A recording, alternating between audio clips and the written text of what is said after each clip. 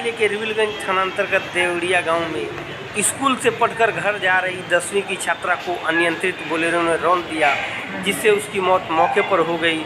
मृत छात्रा रिविलगंज थाना क्षेत्र के टेकनिवास गाँव निवासी जितेंद्र मांझी की पंद्रह वर्षीय पुत्री खुशबू कुमारी बताई गई है। खुशबू कुमारी की मौत कैसे हुई है?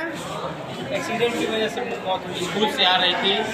परमनाथ स्कूल से परमनाथ उच्च विद्यालय से पढ़कर आ रही थी देवरिया स्कूल है वहाँ से पढ़कर आ रही थी जब तक थोड़ी देर में वो बिलोड़ो वाला साइड में मारकर और भाग गया। घटना कहाँ हुई है?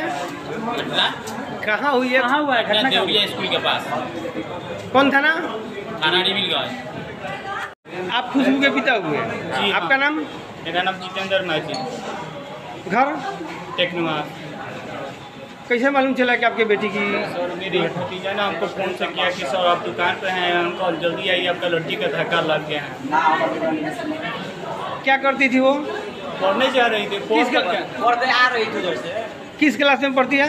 दसवां में सर। दसवां में पढ़ती है। हाँ इसके साथ में पाँच लड़की थी हमारे गाँव। में। सब इसका सहेली। बोलो डाला मार करके भाग गया वो लोग उधर उधर भाग गई